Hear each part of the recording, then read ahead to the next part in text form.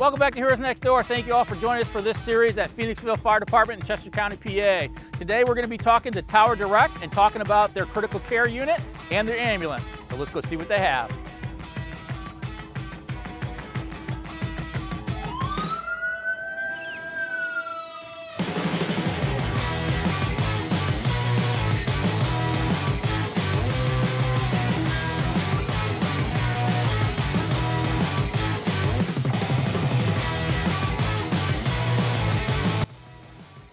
We're meeting back up with Brad Cosgrove. If you remember, he's the chief of Tower Direct, and he's going to walk us through these two units.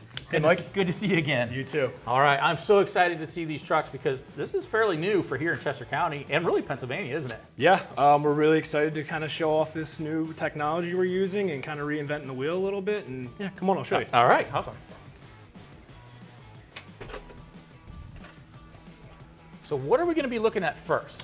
So the first truck we're going to look at is our critical care team uh, responder unit. Okay. And um, what this is is one of our pre-hospital critical care nurses is able to respond in the field and meet one of our ambulances to do both 911 calls and inter-facility. Basically, kind of what you would see in the past in a helicopter, we're now doing on the ground. Okay, okay. So, So- it's basically a QRS unit for Yeah. helping the ambulance services out. Yeah, and we're able to provide a higher level of care and still have all the services that you would have on an ALS unit plus some. So I'll show you around and we can look at all the different stuff we Awesome. carry. Let's start at the driver's side and we'll walk our way around. All right. So some of the things that are a little bit different about this, it's just like predominantly what we see in today's world of uh, a chief's vehicle or a medic unit would be, you know, lights and sirens package. Um, but some things that make it a little bit unique is it has its own HVAC system.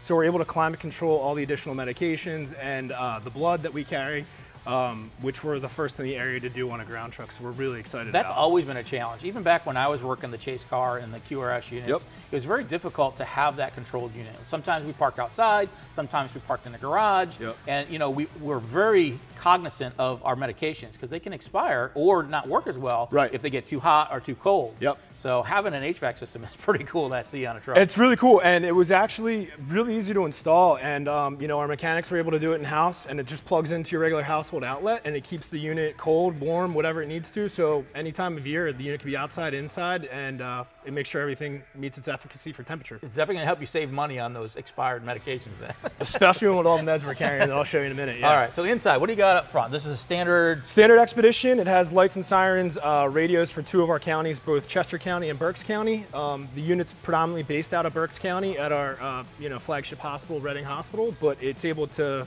go to any of our 911 units, uh, both in Tower Direct and in the community. So if you're working for a different company, it's still a requestable unit.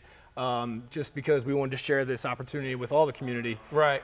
It's almost like a rescue task force add-on because you know we have different things throughout Yeah. Chester County. We, we have the rope rescue, we have collapse Right. rescue. If I need that extra resource, I call for it. Right. That's what this is, truck is kind of designed to do. Correct. Correct, exactly. And we actually are working with the Rescue Task Force to bring the same level of care for these extended extrications and everything else, and just really be a team player and you know work with everyone to get the care out there. Is this then up 24/7? This is a 24/7 unit, yeah, and we actually have uh, a second unit that we can put up as well, so we can have a second unit up to um, you know augment or additional resources if one of them's tied up. Okay. Do you run single provider or do you have multiple providers in this truck? So this is a single pre-hospital nurse that's trained to critical care as well. So they have, um, you know, EMS experience as well as ICU experience. Um, so they're able to do the inter-facility work, and then this kind of just organically grew to do the 911 responses. Um, with our medical director, who we'll introduce here in a little bit, and uh, just the progressive thinking of uh, our CCT manager and our team, it, it kind of worked. This is awesome. Yeah. What's in the back seat? Uh, back seats, kind of just storage. Um, nothing really crazy back here. You know, just some organizers, some extra equipment. Um, it has everything from a licensure standpoint that it's licensed to uh, meet all the Department of Health regulations. Our oxygen bags, um, because if you think about it, you know, when you worked on the medic unit when we used to work together, we're not always going to have.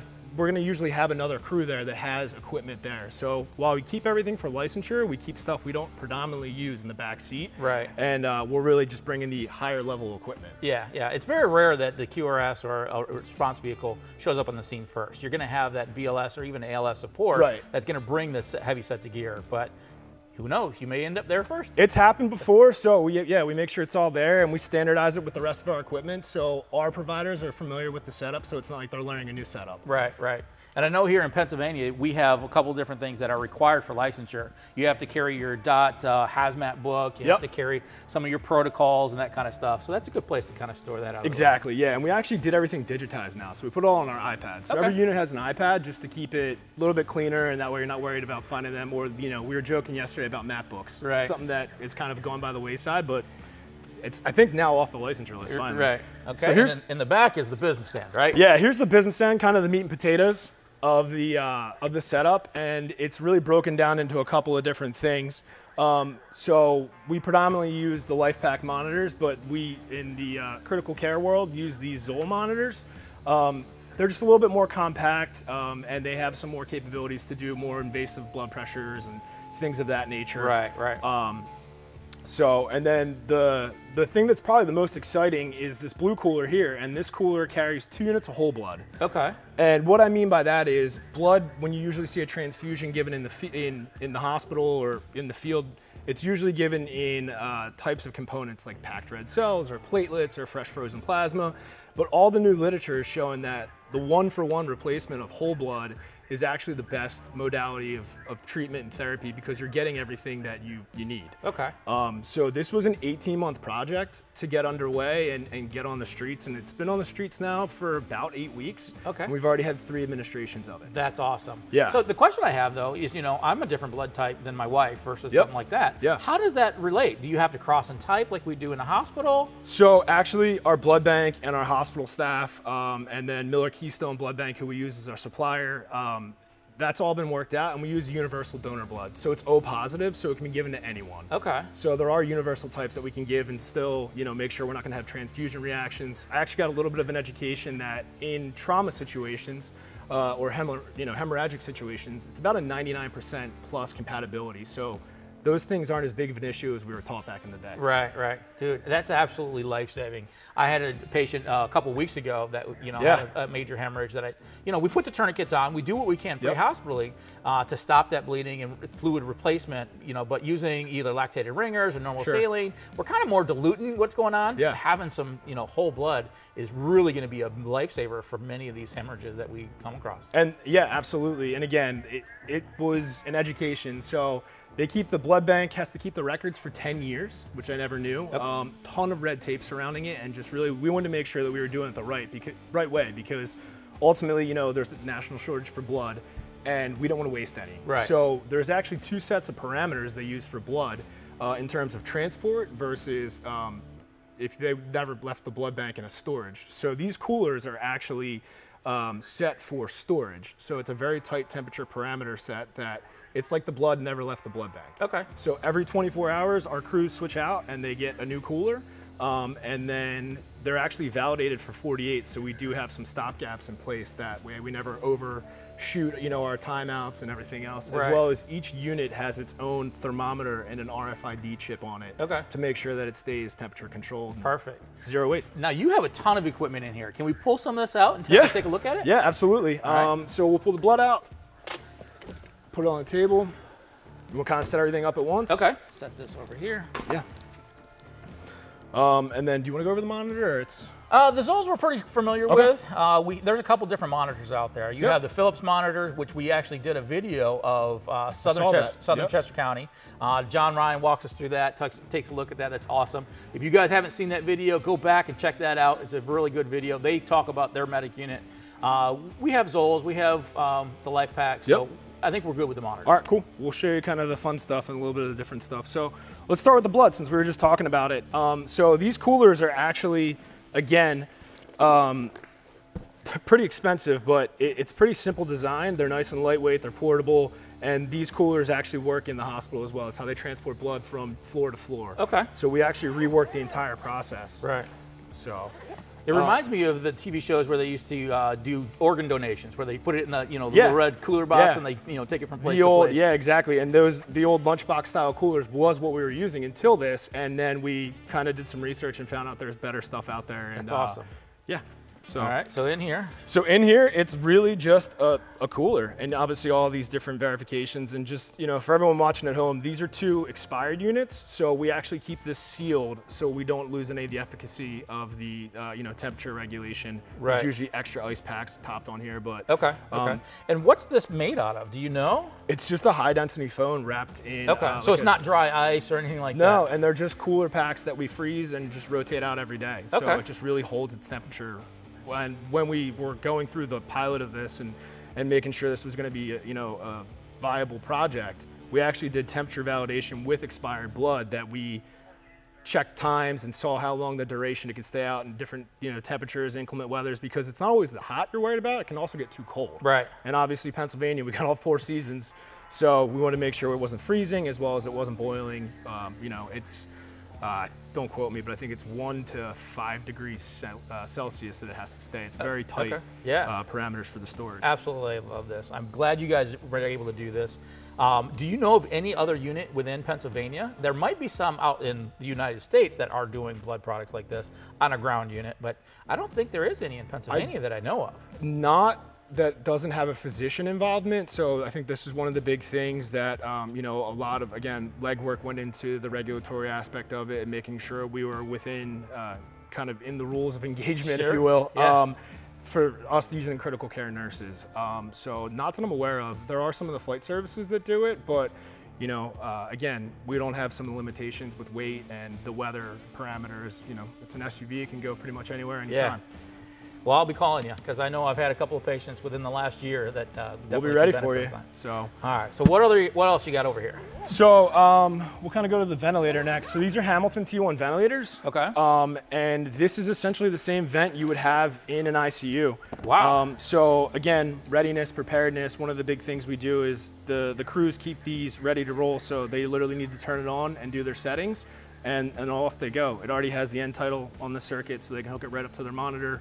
Doesn't matter the monitor; it's a universal connector. Now, why would you have to use a monitor that an ICU would use versus, you know, I have an auto vent. I set rate, I set volume, and Right. you know, I, I set very basic settings in a pre-hospital uh, environment. Why would I need this versus something else? Well, again, the entire reason this unit was created was to help move patients throughout our health system. Um, and a lot of those patients are pretty sick. Uh, you know, we just are kind of getting back on our feet after COVID, which was a ton of sick respiratory patients that had very tight vent settings and had a lot of different um, uh, settings that something like an auto vent or you know some of the smaller ventilators that we used to grow up on wouldn't have the parameters and the sensitivities that a vent So, like this so you can run the FiO2 differently, you can set PEEP differently, you can set the inspiratory versus expiratory rate differently. Absolutely. Those kind of settings that you have to really fine tune a critical care patient. Yep. You have the ability to do that versus the vent that I use, which is, you know, basically a BVM. Exactly. Yeah. manual yeah. BVM. Yeah. So I think next kind of is our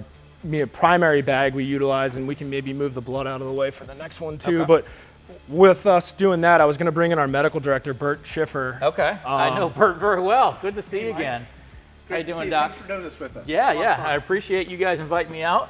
Uh, there's a lot of education to be had here, so you know I, I appreciate you uh, opening your doors and showing us what you got. Absolutely. Glad to have you. So, uh, Brad's already talked us through, you know, the blood products, the vent, that kind of stuff. But you got a couple of pretty large bags here. We can do. You, can you walk me through what you have? Absolutely. I'm gonna let you step inside so, here. So what we have here is this is our primary bag, and what we do is we try to have this bag set up for anything that we're going to need for pretty much any response on a normal standpoint, whether that be a pre-hospital response as an ALS squad, or if we're going to a hospital for most of our transports. And it's, it's just set up as, as any EMS bag would be. Is we try to set up different concepts together. Um, So you have an airway kit in here, you have medications in here, you have IV start kits, all that kind of stuff. Okay. And then we have redundant equipment as well. So in the top, what we have is a, is a second vent tubing set because without the, the vent tubing, which is the disposable piece, we can't use it. So we have that all here Yeah. in case there's a problem because, well, we all know that problems exist. Um, the next thing we have down here is essentially what our emergency response to back up one of our medic units would be. We have an intubation kit here, and with that, we have our, our endotracheal tubes, and we have our McGrath uh, laryngoscope. Right. So having video scope is very important nowadays Absolutely. too.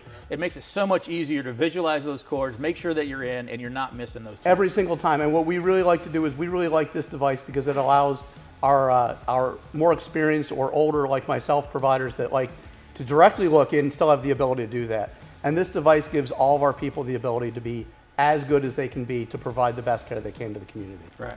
Now I've used that in the past, and my partners actually kind of look over my shoulder, and they're Absolutely. confirming that with me, rather than just me going in by myself. You know, yeah, I know what I'm doing, but having another provider behind me to actually look at the screen, Absolutely. It's good. Gives you a- redundancy. gives you a little bit of help. Have, having that support across the team so that everybody knows what everybody's doing, you just can't beat that. Yeah. And it's so um, small. I remember the old rolls that we used to have back in the day. So that's one of the other things that we've done as a system is that we've tried to look at systems designed for equipment so that people can take equipment and care for all of their patients with less equipment that's better thought out. Yeah. Instead of having 40 choices, we try to limit the choices so that people go in a single direction that is patient centered and gets the best outcome possible. right. And it's easier on my back for Oh carrying my those gosh, stuff around. Oh my god. Absolutely. And that's one of the reasons we broke this up into different bags for primary and secondary. okay. Um, the other thing we have is we have orogastric tubes in here because what we found is that anybody that gets an endotracheal tube, making sure they don't have uh, regurgitation, really make sure that it's safer for the patient when they're intubated. Yeah, one of the standards that I do anytime I intubate a patient, especially if the BLS has arrived on scene first or the cops got there, maybe they ventilated beforehand, they're going to get a little of that gastric Absolutely. distension. I always drop an NG tube. That's the smartest thing to do. or an smartest OG. thing to do. Yep. Um, and then the other thing we have here is we have our, our narcotics. Um, we find that, especially with some of the longer transport times that we have, we end up needing to sedate the patient with a lot of medications, and we have those all in here. We have our paralytics in here, our sedatives in here, and what we want to do is that we make sure that our patients are as comfortable as they can be as we move between our facilities. Yeah, it's So- all about the comfort. And the more comfortable they are, the better vital signs they get. Absolutely. so you need less vent settings, you need less less blood pressure medicines. If you can keep the patient comfortable, they end up doing so much Right, better. right. And that's lockable. So, you know, Yeah, you just can't get in, into that. And you we have to have keep that locked. That's awesome. And it's in a locked vehicle. Okay. So, so we keep to make sure that we make sure that all the regulations are checked. Yep. As well as the patients are well cared for. Absolutely. All right. So what we'll do is we'll go inside the bag and we'll see all the all the other things we have.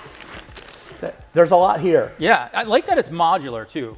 You know, we used to have the old uh, lunch boxes or Yeah. the tackle boxes that you Yeah, used to have. yeah. And when they fell over, you lost everything. So if this falls over in the back of the ambulance, because you guys are supporting other ambulance services. Absolutely. Yeah, and we've, we've really come to realize that if we compartmentalize what we're doing, it helps us think through what do I need, when do I need it, and how do I use it. Awesome. Okay, talk me through it. So at the top, we've got kind of our trauma area. We've got tourniquets, um, big needles to decompress somebody's chest in case you get a pneumothorax Yep. or air in their chest, chest seals, and we used all that in order to make sure that, that we have one direction to go. We keep scissors in there, uh, hemostats, all that stuff you're gonna need in case there's a bad trauma. Okay.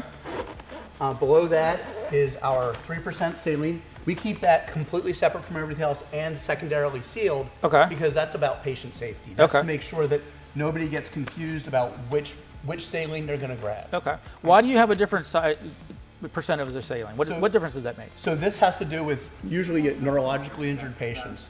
So somebody that has a, a head bleed or something like that, that we need to make sure that that they they have the best chance for a good survival. And there's good good stat good information that uh, talks about how that is Right. beneficial. Normally, we you have lactated ringers or nine percent. You're dropping that down to three percent. So what we're doing is it's not so much about getting fluid, it's about getting that as a medication. Right. That's the difference. Awesome. Next down here, we have um, we have a special kind of IV that actually starts a small gauge IV and it actually gets makes it a bigger IV. Okay. So you can take a 20 gauge IV and you can make it into a 14. Right. So we Okay. have two kits for that in case somebody that's doesn't have good vasculature because they're in hemorrhagic shock or Right. something like that, that we're able to get them better vasculature access so Right. we can give them more fluid. It's almost like the old trocars we used to use for the trachees, where you put it in, introduce it, take it out. Make it Exactly. That's same awesome. Thing. Yeah. Um, and we also have a T-POD in here. Okay. And the reason we keep the T-POD in with this equipment is that not all of the the ambulance services that we go to have a pelvic binder. Right. So we want to make sure that we provide the best care we can for people when we're moving between it. Again, this is stuff that we don't have on the ambulance. We have things to, to take care of these, Right. But these are very specifically upgradable um, Yes. resources that I just can't carry. I just don't have the money to carry, you know, nine percent saline plus plus three percent plus this plus that. And, and the three percent's out, out of the paramedic scope of practice, but with online medical command, with the ability to have direct physician, nurse, and patient communication, we're able to expand those capabilities. That's awesome.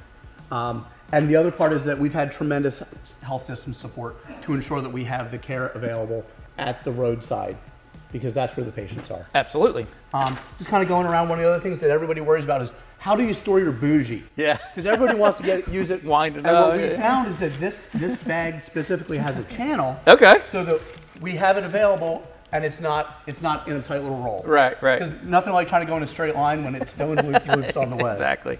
Um, next thing we have, we have our pumps. Um, obviously, as a critical care truck, we want to make sure that we can have the ability to, to exactly manage patients. So we keep wow. four pumps here. Okay. Um, all of our ambulances are going to be having a pump, so that we that gives at least the our systems ambulances five pumps when it comes to a critical care. That's perfect. I remember back when we were flying on Sky Flight Care out of Brandywine. What a wonderful We had, yeah, we had the uh, you know the IVAC triple chambers. Yes. And there's many times where we have all three of those running and needed another one. So Yep. So we figure four is a good starting place. Yep, yep. And our system already has additional redundancy. awesome. Um, and then we're able to use both um, syringe pump components as well as standard drip. Okay. So it gives for us- our viewers, what brand do you guys choose for this one? So these are the Sapphire pumps, Okay. And we're using that because we found that it's easy. We can put a library in it. It's easily controllable, and it's actually used extensively across the critical care interfacility. Yeah, a lot of the 911 services here in Chester County are going to the Sapphire They are, too. they so are. it's compatible. So when I call you in, and maybe I've already started my own pump, we can keep working keep going. That's awesome. And, and that interoperability is a major piece of what we do. We try to take anything that we do with critical care, and we try to to expand that through our entire system so that everybody has the same expectation. right, right. Well, and then the one thing too with some of our stroke patients where we're giving something like a medication that needs to be continued and it's time sensitive, like TPA or some of the other blood pressure control medicines, is to not delay care. We've actually worked within our hospital system to have those medications continue right to the CAT scanner. So it's again, it's all about patient care. It's all about you know time is tissue and the continuation of therapy. That because we're part of the system, it's seamless. yeah, that's awesome. All right, you got a big yellow one? Got a big yellow one, and, and, and here, here's a lot of the, the fun stuff. So these are all the drugs. Okay. Um, and having flown before, you're, you're familiar with Oh, yeah. all, all the stuff that we have. So we have all kinds of different medications for electrolytes and um, blood pressure control, whether we need to go up or go down, just regulating all the parameters. Um, beyond that, we've also got uh, normal saline, we've got albuterol, we've got propofol, we've got just standard glucose. Just Yeah. you get a diabetic. Sometimes all you need to do is give them some sugar, and we, we've got the ability to do Right. that. here. So this is pretty much set up to do everything that an emergency room can do in that critical care aspect for 15 to 20 minutes to get them to the next service. Oh, we even plan further than that. So we, we look at this truck as a two-hour truck. Okay. So this is uh, gives us the ability to take care of any patient that would that you'd take care of on a helicopter for say 15 or 20 minutes. That same patient might need the same transport, but it's snowing outside. Right. So we want to make sure that this truck, in conjunction with an ALS ambulance, is able to provide that, that critical care level of care for the entirety of the transport, whether that's 15 minutes or two hours. Right. And we've tried to, to take all of our equipment and ensure that something won't run out, that the patient will be comfortable, that they'll have all the blood pressure parameters and respiratory parameters met Right. for their entirety of their interfacility transport. Right. The other thing that I noticed is, you know, EMS has kind of changed over the years. We're now to the point after the uh, study that came out of Pittsburgh to kind of treat on the X, stabilize before we transport. Many times, you know, we'd pick them up and go to the hospital, Right, but grab the end go. result was done. Having a service like this supplement even an ALS service, we can really treat on the X, stabilize that patient, and then get them going from there. Yes, and, and that's what we found is that uh, the initiation of care at the ALS level, and then when we bring in a more experienced critical care nurse, that it's that we've, we've all been there. We love being the, who doesn't want to be the second person in for a really sick patient where you come in and you're slower and you're methodical and you bring your expertise. Yeah. And that's that's what we're looking at is, is in our service area we've been able to do that with these guys. They come in, they're very experienced, and if something is needed beyond that, we can we have online medical command 24 hours a day to ensure that our patients get the very best care. That's just absolutely beautiful. I appreciate that. So now, this is pretty much what's in this truck. I, You have a ton more stuff. Yep. But you also have an ambulance that runs out of Phoenixville here too. Correct. Do. Do you mind if we take a look at that? Absolutely. Please? All right, let's go take a look at that. All right, cool. So you are part of a Tower Health system, right? You are Tower Direct, but Correct. Tower Health is Reading uh, uh, Hospital.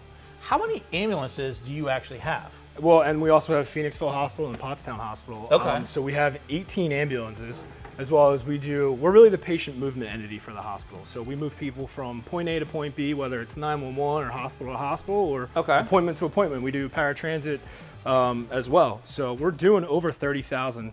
Might be pushing 40 this year. uh, Wow. transports and patient movements. Okay. Uh, between all the modalities of care. Do you, you have all the same kind, or do you? Ideally, we would love to. Um, unfortunately, you know, we're, we're a relatively new agency, and we took over other agencies to become Tower Direct um, with the health system being formed.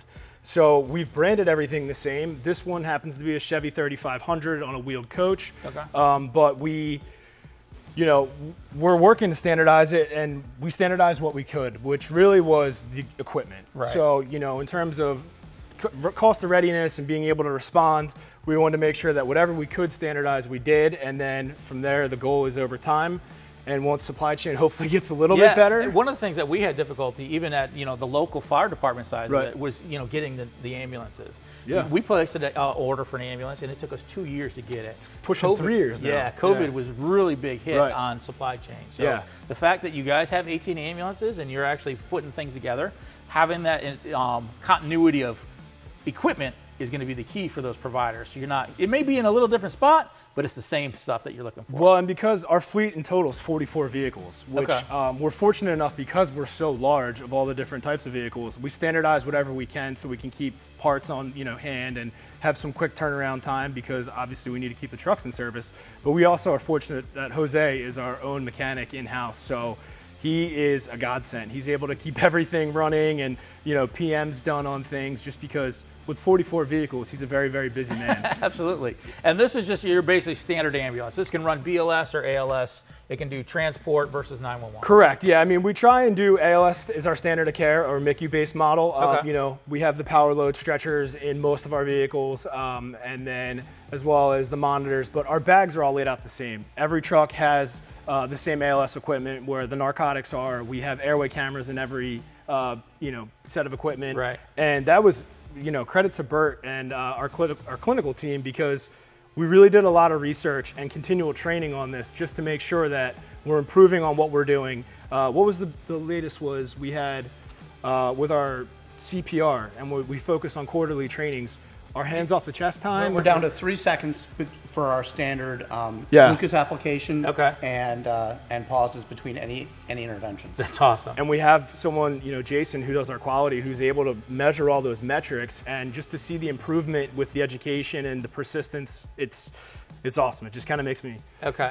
As I'm standing here, I see another vehicle that's very unique. Do you Yeah, if we walk over there for a second? absolutely. Yeah, we uh, we have another vehicle that I I think you were on this call. That may be the reason that this kind of came to be, and this is in conjunction with Chester County and our EMS task force, and we were fortunate enough to take ownership of it and maintain it. But it's a resource again that's available to everyone in Chester County, as well as we've actually used it outside in other regions, and it's a mass casualty bus. Um, about seven or eight years ago, there was a large nursing home fire in West Chester that Yeah, I was there. Yeah. yeah, it was a long, cold night. I think we were both there. Yeah. and, uh, you know, there was over 100 nursing home patients that needed to be moved in the middle of November, and there was issues with temperature and, and wheelchair access. And this was the, uh, the summation of that occurring. So, Dude. um, That's awesome. yeah. Brad, I thank you very much. Thanks, Doc, Mike.